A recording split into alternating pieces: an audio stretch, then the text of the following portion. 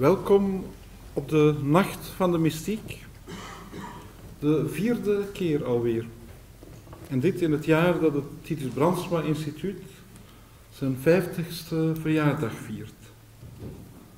Vijftig jaar studie van de mystiek. Dat is niet vanzelfsprekend, maar vanzelfsprekendheid is iets wat de mystieke traditie niet kent. De mystiek van alle dingen bestaat juist in een niet vanzelfsprekende karakter. Hun onvoorspelbaarheid, de marges en de randen van het begrijpen, de schaduwzijde van de dingen die juist het licht zichtbaar maken. De mystieke traditie is juist die traditie die aan het niet vanzelfsprekende, onuitsprekelijke woorden geeft. En in deze nacht deze vierde nacht gaan we naar het oorsprongsgebied van de mystiek. Christelijke, evenals ook de islamitische mystiek.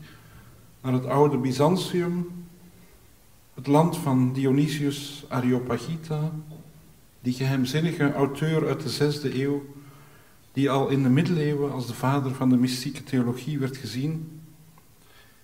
En in de latere moderne tijd als de belangrijkste getuige van Gods onuitsprekelijkheid, die we toch willen uitspreken. De geheimzinnige auteur die steeds opnieuw herontdekt werd, tot bij de dadaïsten van de 20e eeuw, zoals we ongetwijfeld bij Frank Bosman zullen horen. Het oosten, dat is veraf en heel dichtbij, want daar is de bron van de mystiek, het stroom van onze eigen traditie waaraan het Titus Brandsma Instituut zich al 50 jaar lang wijdt. Ik stel voor dat u zich laat meedrijven op deze stroom die vanavond aan de oppervlakte komt. Een stroom die confessionele en culturele grenzen slecht en die alleen maar in het goddelijke is geïnteresseerd. Ik hoor de laatste tijd veel spreken over religie zonder God en zo. Maar in de mystiek is het omgekeerd. Daar is, gaat het alleen om God zonder religie. En over het zwijgen willen, willen spreken of zingen. U denkt van, oh, wat abstract is dat nu weer, waar ben ik nu terechtgekomen? Het is niet zo abstract als het lijkt. Vanochtend was ik nog in gesprek met een groep leidinggevende managers uit de publieke sector en het bedrijfsleven die geraakt zijn door de mystiek, omdat zij woorden geeft aan wat door geen enkele code of procedure afgedekt wordt.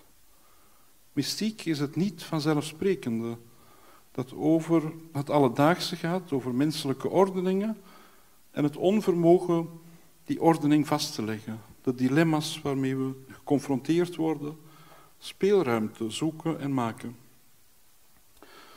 Ook dat doet het Titus Brandsma Instituut al 50 jaar en dat gaan we dit jaar ook uitvoerig vieren.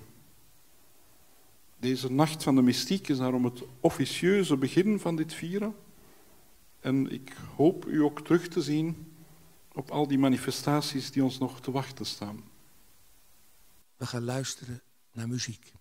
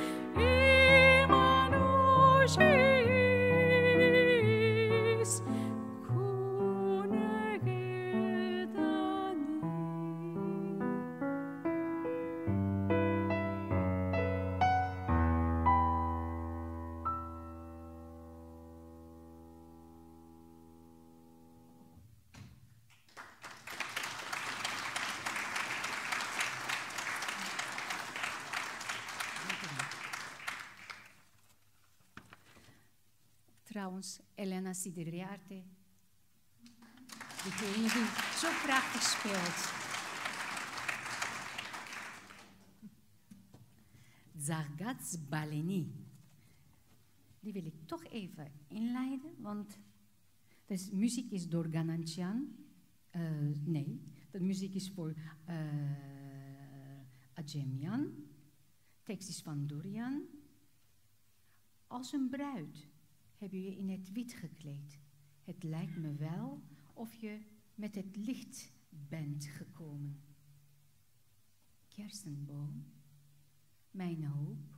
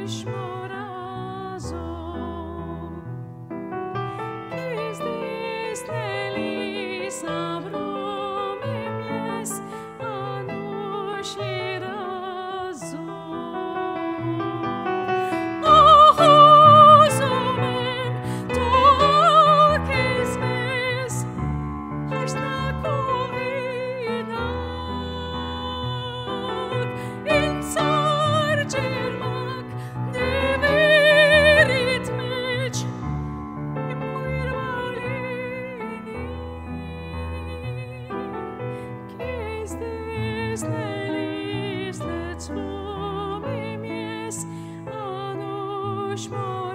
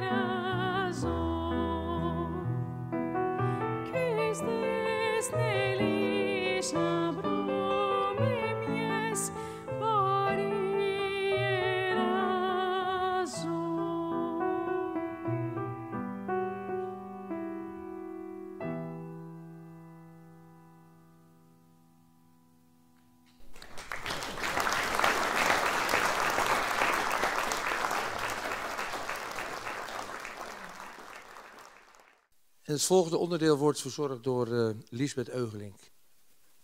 De bus rijdt als een kamer door de nacht.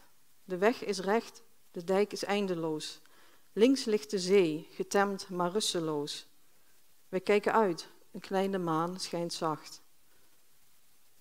Voor mij de jong, jonge, pasgeschoren nekken van twee matrozen, die bedwongen gapen. En later, na een kort en lenig rekken, onschuldig op elkanders schouders slapen.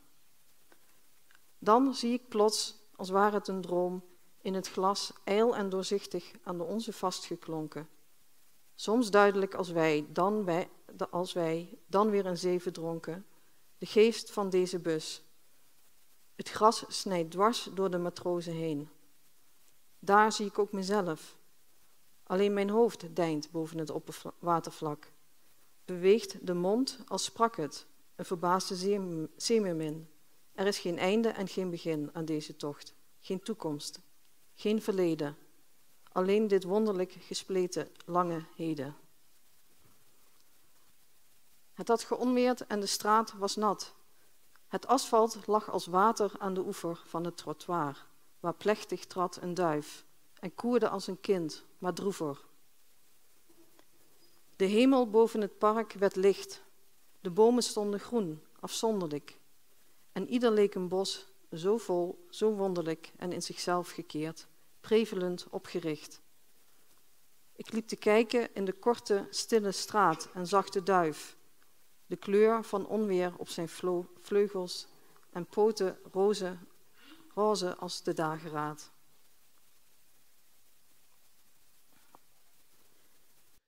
Frank Bosman, ehm, wat ga je doen? Ja, dat is voor mezelf ook altijd nog een verrassing. Want uh, ik bereid natuurlijk ook altijd wel iets voor. Maar dan komen er mensen voor je. En dan zie je de tijd verglijden. Je hebt gewoon 20 minuten. En dan denk ik, ik ga hem iets anders doen dan ik voorbereid heb. En wat ik wil doen, is jullie introduceren in een mysticus waar je hem niet zou verwachten. Namelijk in de geboorte van Dada, van de avant-garde in het midden van de Eerste Wereldoorlog. Ga je gang. Dankjewel. De kunstgeschiedenis heeft nogal schizofreen over deze bal geoordeeld. De eerste fase van reflectie, nadat hij overleden was in de jaren twintig, veel te jong aan kanker, maakte van hem een heilige, die na de val in Nietzsche op de universiteit het geloof van de kinderjaren, het Roomse geloof, terug had gevonden. Tweede fase, keek vooral naar zijn dadaïstische werk. En liet het leven van Bal ophouden op het moment dat hij niet lang na het uitspreken van dit gedicht Dada en de avant-garde voorgoed verlaat. Daarin wordt zijn terugkeer naar de Roomse moederkerk gezien als een val in het bijgeloof van de middeleeuwen.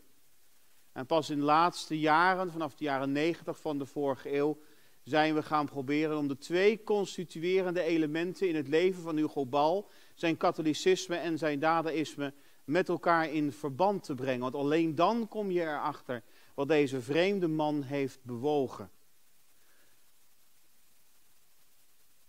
Katholiek, gevallen, dada. Hij deconstrueert de conventionele taal en botst dan keihard op de muur van het niets wat achter Dada verborgen ligt. Dead and Dada.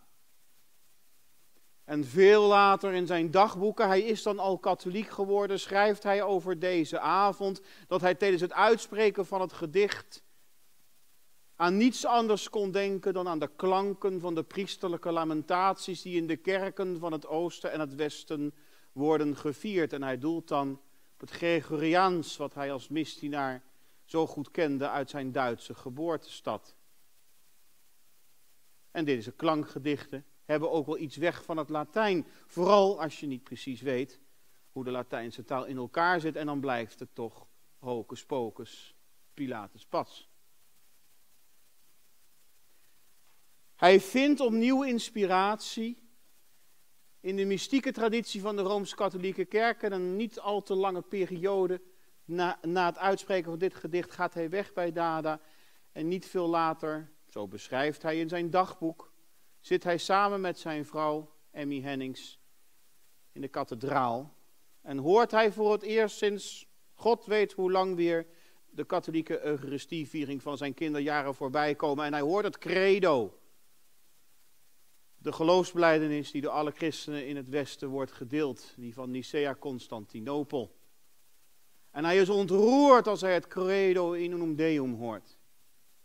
Maar niet vanwege de inhoud, niet vanwege de dogmatiek, niet vanwege het instituut, maar hij zegt dat hij geroerd wordt door het credo omdat alle klinkers erin zitten. Voor hem is het credo het logische antwoord op de chaos van de klankgedichten van Dada.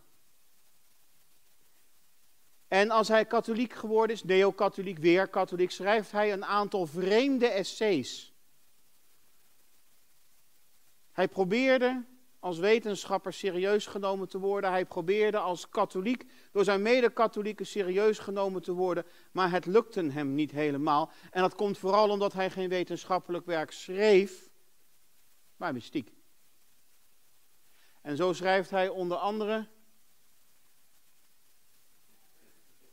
in zijn Byzantijns christendom uit 1927 een vreemde mengeling zonder proloog, zonder epiloog zonder inleiding, zonder uitleiding, maar het leven van drie mystici. Johannes Climacus, de pseudo-Dionysius, Dionysius de Areopagiet. En Simeon de Styliti, 30 jaar lang op een metershoge zuil zat te mediteren. En midden in het gedeelte over Dionysius, een gedeelte waarin Bal de vloer aanveegt met zijn interpretatie van de historische gnosis, die een rabiaat verschil maakt tussen boven en onder, tussen denken en voelen, tussen man en tussen vrouw, tussen God en tussen duivel, tussen hemel en tussen wereld. Hij wijst dat af. Maar dan zit er in een klein voetnootje verborgen dit. En ik kan u verzekeren, toen ik mijn leescommissie van mijn proefschrift probeerde te overtuigen dat ik daadwerkelijk wilde promoveren op een voetnoot in het middengedeelte van een klein smoezelig essaytje van een onbekende Duitse dadaïstische essayist, moest ik enig werk verrichten. Hetgeen mij gelukt is, want het eindresultaat kunt u buiten gratis en voor niets met u meenemen in handelseditie wel te verstaan. Mocht u daarbij iets over hebben voor deze arme ziel, zal ik u dat niet ontraden. En midden in, het, uh, in zijn artikel over de pseudonimius in een voetnoot citeert hij de Pistis Sophia, een gnostisch geschrift waarin de verrezen Christus samen met zijn leerlingen naar het altaar toe gaat om daar Eucharistie te vieren. Waarschijnlijk uit de vierde of de vijfde eeuw afkomstig. En dan zegt hij, en ik citeer Bal, im vierten Buch des Pistes Sophia findet sich folgende Schilderung eines gottesdienstlichen Aktes. Jezus staat aan het altaar en om hem heen staan zijn jongen, uh, zijn zijn leerlingen in witte kleren. Een grote openbaring bereidt zich voor. En dan citeert Bal, zonder het te laten zien, de Pistis Sophia letterlijk. Jezus roept zijn God aan. Verhoor mij, mijn vader, jij vader van alle vaderschap, jij oneindig licht. En dan is Bal weer aan het woord en hij zegt, dan breekt hij, Jezus, in de volgende tover klanken en toverwoorden uit. Aya, eo, iao, aioi, aiop, sinoster. En dat laatste, deze nomina barbara, deze onvertaalbare klankwoorden, zijn weer een citaat uit de Piste Sophia. En hiermee weet Bal, de neo-katholieke Bal, met terugwerkende werking, zijn klankgedichten bij Cabaret Voltaire te voorzien van een nieuwe mystieke lading, waarbij hij het gebed van de vrezen Jezus tot zijn hemelse Vader laat overvloeien in de klankgedichten van Cabaret Voltaire. Waarbij hij aan wil geven dat de kunstenaars de nieuwe hoge priesters van deze tijd zijn, de liturgisten van deze tijd zijn. En dat in het lichaam van de kunstenaar, dat dat kunstwerk geworden is, de nieuwe wereld achter die van de Eerste Wereldoorlog tevoorschijn kan treden. Gatje Biribimba. Amen.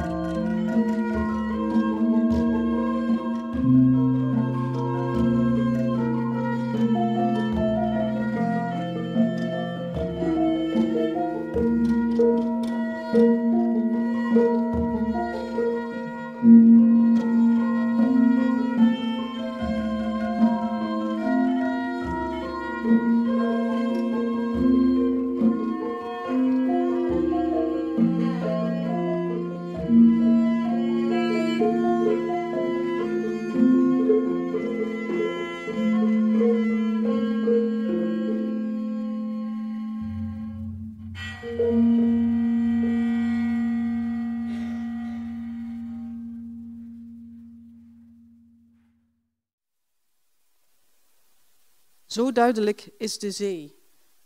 Zo duidelijk is de zee die zich voor mij uitstrekt. En zo duidelijk de zee die zich aan mij laat zien. Een wonderlijke mist neemt bezit van mijn hoofd. Een ondoorzichtigheid verdrinkt mijn gedachten. Al mijn gedachten die geen gedachten zijn. Omdat ze ogenblikken zijn waarop de wind iets minder waait. Omdat ze klagende uitroepen zijn van zilvermeeuwen. Omdat ze zijn de golven die in grote hoeveelheden sterven. Omdat ze symbolen zijn voor het onbereikbare. En omdat ik geen geloof hecht aan hen. Een wonderlijke mist vult mijn hoofd, een wonderlijke mist van duidelijkheid. Zo toont zich de zee. Mooie tekst. Wat vind jij er mooi aan? Ik vind vooral de herhaling uh, heel mooi en de omkering die erin uh, zit. Van hij kijkt naar de zee, of het lyrische ik kijkt naar de zee. En op een gegeven moment kijkt de zee misschien wel naar hem. Is dat ook mystiek, dat alles omgekeerd wordt? Voor mij is dat mystiek, ja. ja. Dat alles omkeert in zijn tegendeel. En dat je altijd weer, uh, zeg maar, daardoor op andere benen en op andere gedachten wordt gezet. Ja, gedachte is misschien nog te beperkt. Gebeurt. Het gebeurt. Ja. Zo heb ik nooit naar de zee gekeken. Ik heb hem heel vaak gezien op Schiermonnikoog. En ik heb zo nooit naar die zee gekeken. Ik heb wel van die zee gezien dat, uh, en eigenlijk van het eiland, dat wij een lege ruimte nodig hebben. Om, uh, om, om eigenlijk uh, ja, gevuld te worden. En om af en toe in te verdwijnen. En die lege ruimte, ik kan niet zonder die lege ruimte leven. Jij? Ik ken het, ik was... Uh Schiermonnikoog ken ik, vind ik een uh, erg mooi eiland. En uh, van de herfst was ik in Borkum, het eerste Duitse waddeneiland. En nou, als je ergens de leegte inloopt, dan is het daar. Je, ik, dacht, ik, dacht, op een gegeven moment, misschien een beetje pervers gedacht, maar dacht, nou ja, als dit dan doodgaan zou zijn, vind ik het eigenlijk wel prima.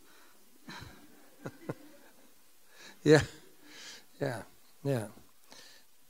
Dan is het een mooi einde. Ja, dankjewel. Dankjewel.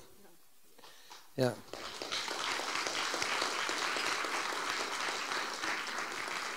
Ik kijk eventjes.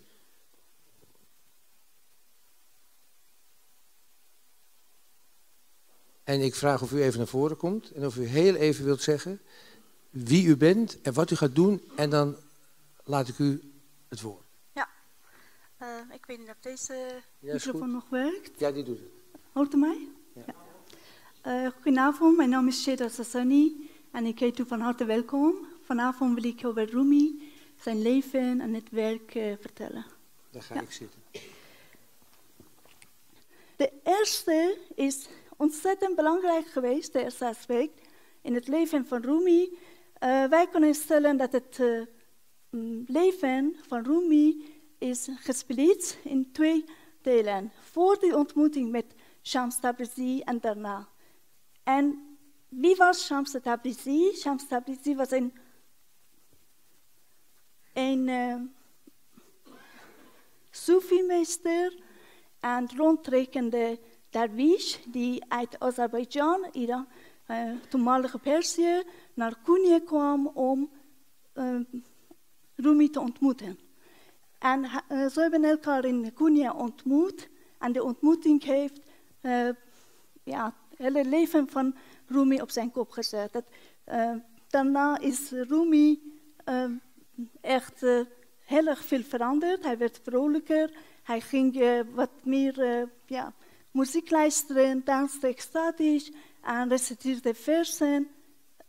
wat heeft Rumi zo geraakt? Dat was een uh, vraag. Dat, uh, uh, dat heeft uh, Shams Tabrizi aan Rumi gevraagd, gesteld.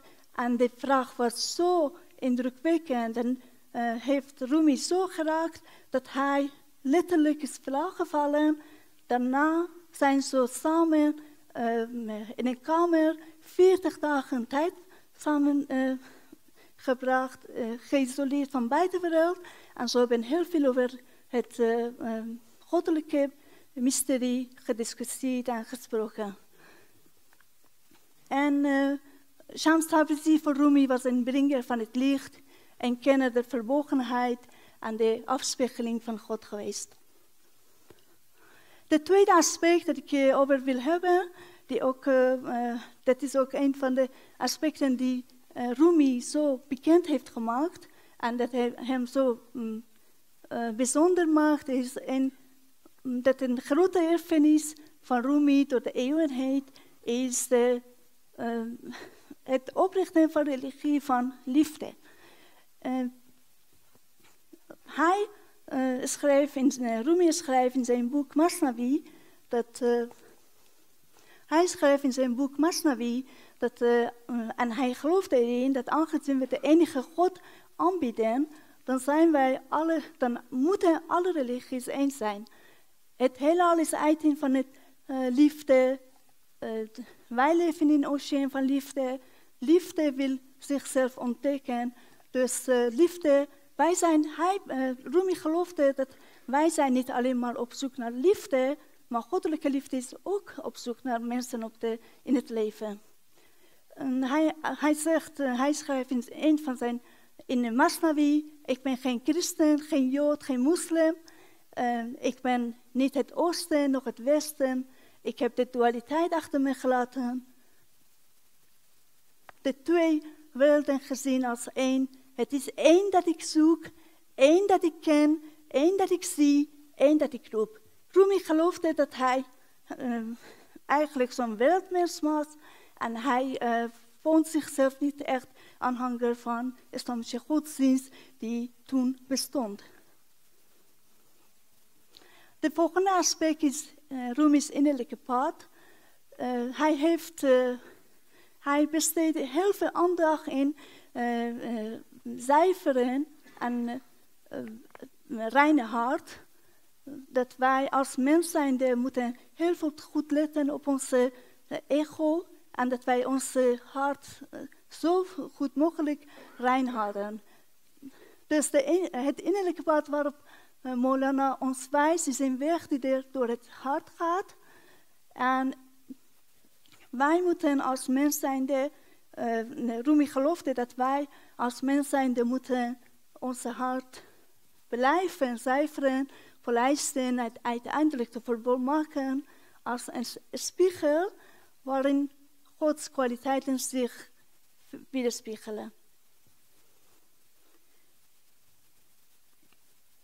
En uh, voor Rumi was uh, als Sufi-meester was het uh, Sufi-mysticus uh, was de intuïtie en innerlijke openbaring de enige wetenschap, de enige kennis die hij uh, volledig op vertrouwde. En uh, hij heeft een mooie, een mooie gedicht hierover geschreven in zijn Masnavi. Iemand met een leeg en zuiver hart weerspiegelt de beelden van ons, van de onzichtbare. Hij wordt intuïtief en kent onze diepste gedachten, want de gelovigen zijn een spiegel voor elkaar. De volgende aspect is eeuwigheid. Uh, Rumi geloofde dat het leven, het hele leven is één, dat alles van God komt en tot God terugkeert. En uh, dat achter alle uiterlijke verschijnselen in goddelijke bedoeling schuilen staat. God is eeuwig en de mens is naar het evenbeeld van de, en de gelijkenis van God is gemaakt. En uh, vandaar is onze ziel ook eeuwig. De volgende aspect is afscheidenheid. Uh, Rumi geloofde dat om, sinds dat wij geboren zijn op de aarde, dat wij leven als mens zijnde, dat wij door onze, vanwege onze ego, van goddelijke bron afgescheiden zijn. En afscheiding van de mens, van zijn schepper is eigenlijk de fundamentele overtuiging van Rumi geweest. En hij geloofde, omdat wij ons van het zijn van God uh, hebben afgesneden, zijn, ze, zijn wij verwant geraakt door valse trots en hebben wij de wereld uit haar evenwicht gebracht. Hij geloofde, met andere woorden, dat alles, echt alle ellende op de aarde, alles wat mens meemaakt die hem niet bevalt en uh, wat uh, onze geest en uh, lichaam onderlijdt, allemaal door afscheidenheid komt. En deze scheiding schrijft Rumi in poëzievorm, in zijn Masnavi. dit boek begint met een lied van rietverleid. En de rietverleid geldt als metafoor voor de mens die zich afgescheiden voelt van zijn oorsprong.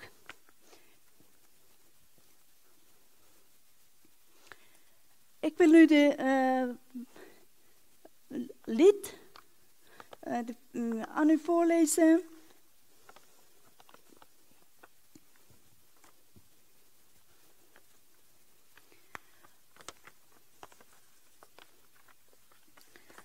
Hij schreef, luister naar het lied van de verleid, hoe het vertelt en hoe, klaagt, hoe het klaagt, gekweld door de pijn van afscheid.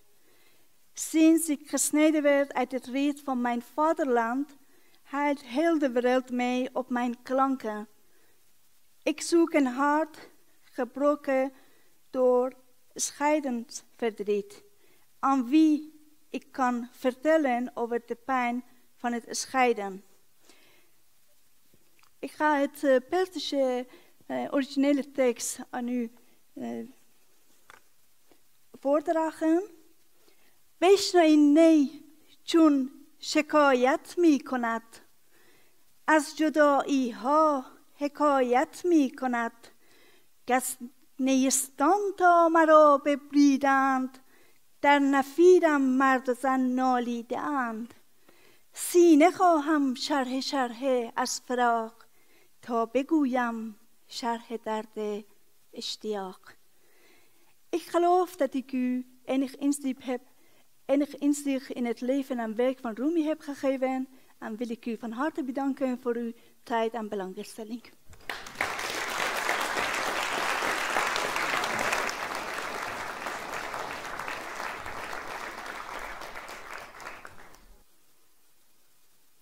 Lang heeft het konijn de lach gezocht.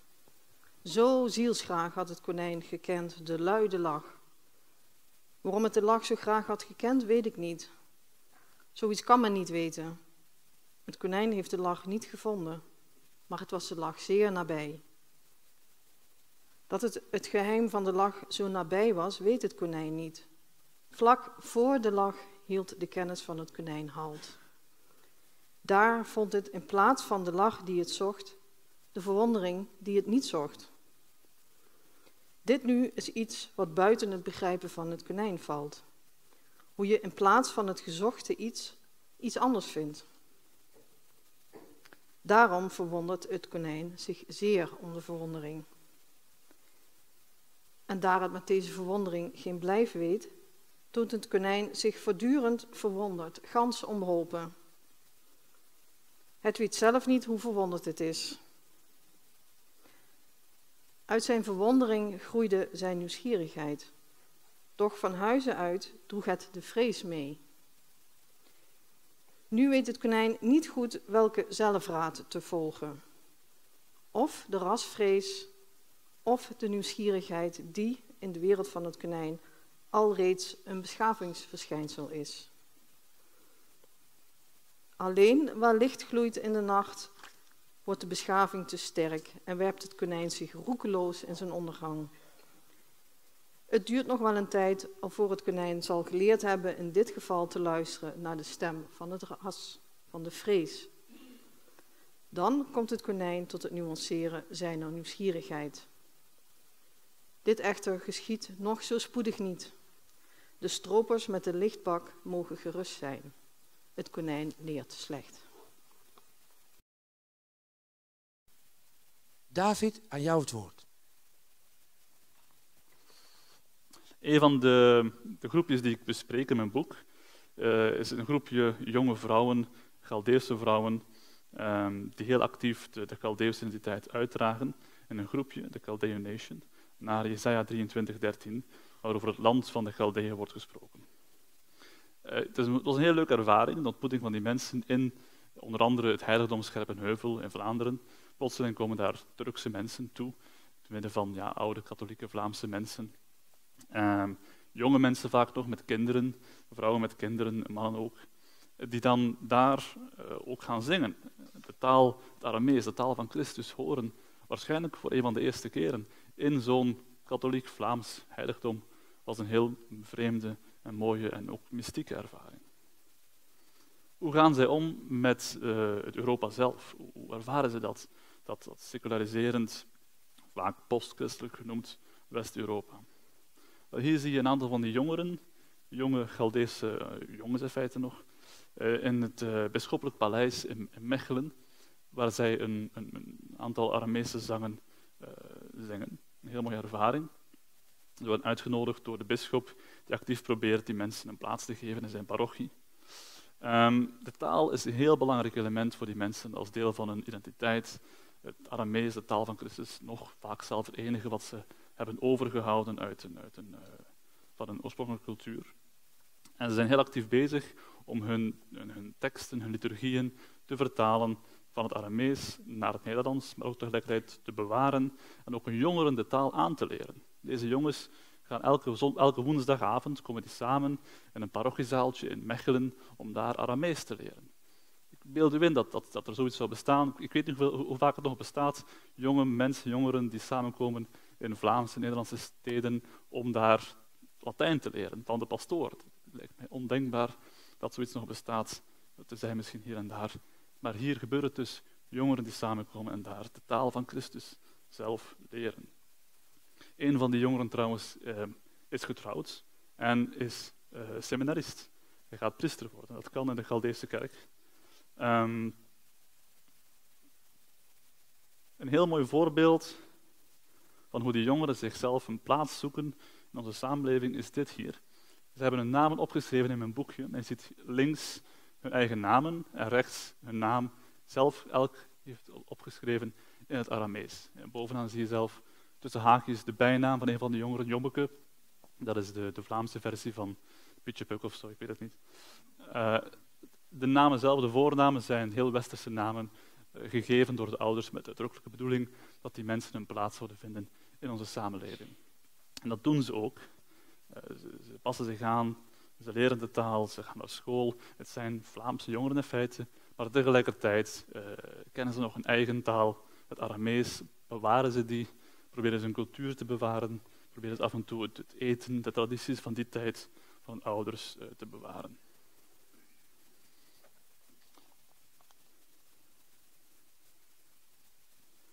Dit is een laatste slide, um, een, beetje een ander verhaal. Er is een, uh, een Eritrese christen die ik wil tonen als een soort van contrast tussen deze groep en de vorige groep. De vorige groep dat waren christenen, Galdese christenen, katholieken, die via de kerk, via de instituties een plaats vinden. Die worden meegenomen door de bestaande gemeenschappen in die westerse samenleving. Dit is iets helemaal anders. Het zijn Eritrese christenen in een huiskerk in Antwerpen, die vaak bestaan buiten de officiële instanties om, in, in garagekerkjes en zolderkamerkerkjes enzovoort. Ik heb er heel veel van tegengekomen. Um, dit is een doopsel, een doopsel van een jonge Eritrese man. En ik beschrijf het event heel kort in een boek zou het graag willen voorlezen als er nog tijd voor is. Oké. Okay. Omdat het zelf ook een hele mooie mystieke ervaring is. Niet zoals de, de meer rustige Aramese taal, eh, die echt ja, heel, heel, heel gedegen is, heel, heel kalm is, heel introvert is. Dit is een meer extatische gebeurtenis, je kunt het zien, uh, waarbij er echt met tongen gesproken wordt, heel evangelisch. Maar ook dat is een deel van dat nieuwe christendom. Ik lees even voor. Mensen scharen zich rond Isaïas. Er wordt hardop gebeden met handoplegging. Een van de aanwezigen profeteert. Er is een grote strijd bezig over je ziel. Ik voel de glorie in het huis, roept Ernest, een Zuid-Afrikaanse predikant. Enkele mensen beginnen in tongentaal te spreken. Een vrouw zegt: Het enige wat je moet geloven is jezelf. Halleluja, roept Ernest er voortdurend tussen. Halleluja. Door het geluid, door het gehuil van de Eritrese, christen, van kinderen en het bij momenten extatische geroep van de gelovigen is het maar moeilijk te volgen. Uiteindelijk trekt de groep naar de badkamer. In een kleine ruimte past nauwelijks vijf man. Toch staan er enkele tientallen rond het bad te bidden. Wanneer Isaias, in wit doopkleed gehuld, doopkleed gemaakt van beddelakens, plaatsneemt om herboren te worden, wordt stil. Er worden handen opgelegd, wordt opnieuw gezongen, de tongentaal weer klinkt terug. Ik heb moeite om me staande te houden in, het, in de enthousiast biddende groep. Uiteindelijk wordt Isaias volledig ondergedompeld. Na enkele seconden komt hij terug boven. Er klinkt gejuich. De kerk heeft er een nieuw, wedergeboren lid bij. Dank u wel.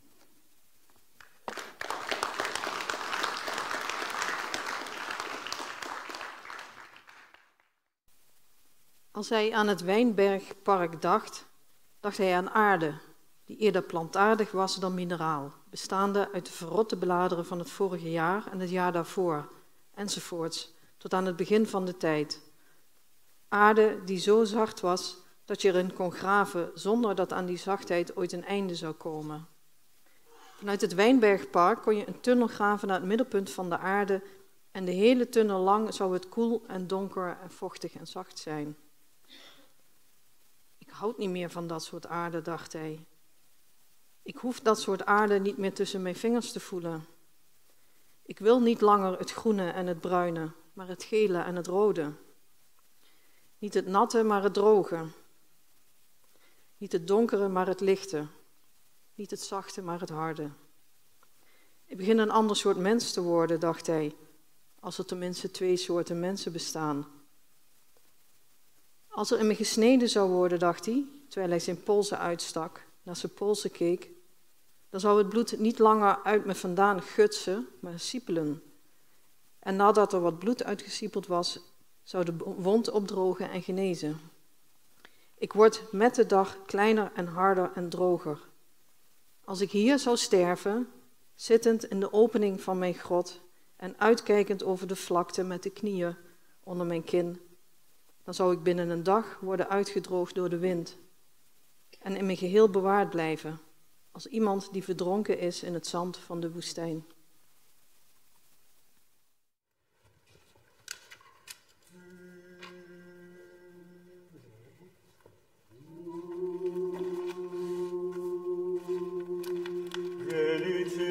moja Gospoda, О Боже, спаси!